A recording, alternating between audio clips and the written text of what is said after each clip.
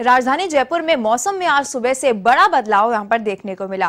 और सुबह से ही काले बादल छाए रहे और राजधानी के कई हिस्सों में बारिश भी हुई। तापमान में भी भारी गिरावट यहाँ पर देखने को मिली। प्रदेश के कई जिलों में तापमान में 27 डिग्री तक पहुँच गया है। और मौसम में बदलाव को प्री मानसून भी कहा जा रहा है। ये पूरे प्रदेश में एक साथ देखने को मिला है। और साथ ही आपको बता दें कि राजधानी जयपुर की बात करें तो सुबह से ही मौसम में बदलाव हुआ। कई इलाकों में अच्छी बारिश हुई और इससे जयपुर का तापमान उनतीस डिग्री पहुँच गया है। मौसम विभाग का मानना है कि आने वाले दो दिन में एक और बड़ा बदलाव यहाँ पर देखा जाएगा।